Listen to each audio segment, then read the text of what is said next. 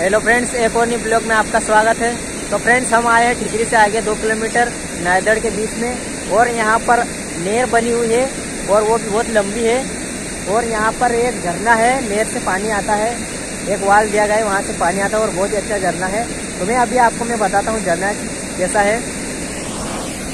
तो आप देख सकते हैं कुछ इस प्रकार से ये झरना है। तो बहुत मस्त झरना है, और यहाँ पर पानी आ रहा है।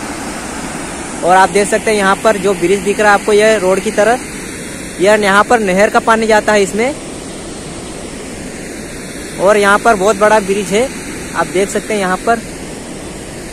और इसी नहर का जो पानी यहाँ पर आता है झरने की तरफ़ से, और ये झरना बना हुआ है यहाँ पर। फ्रेंड्स, ये झरना है इस नहर के, वहाँ पर वाल लगा हुआ है एक। और यहाँ से यहाँ तक पानी आता है और बहुत ही अच्छा व्यू है। यहाँ पर पुलिया नहीं बनी हुई है। और यह पानी ठिकरी के जो नदी है, वहाँ पर जाता है। नायदड़ और ठिकरी के बीच में है।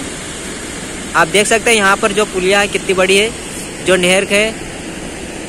और कालम भी यहाँ पर आप देख सकते हैं, कितने बड़े बड़े कालम है। तो फ्रेंड्स, यहाँ पर आकर मुझे बहुत ही अच्छा लग रहा है और यहाँ पर आप देख सकते हैं झरना किस तरह से दिख रहा है। आप देख सकते हैं यहाँ पर, और जो नहर है, वह यहाँ पर बहुत बड़ी नहर है। यहाँ पर 500 मीटर की लगभग है, और यहाँ पर दूध की धारा की तरह यहाँ पर झरना बह रहा है। तो फ्रेंड्स, आपको कैसा लगा झरना, आप कमेंट करके ज़रूर बताना।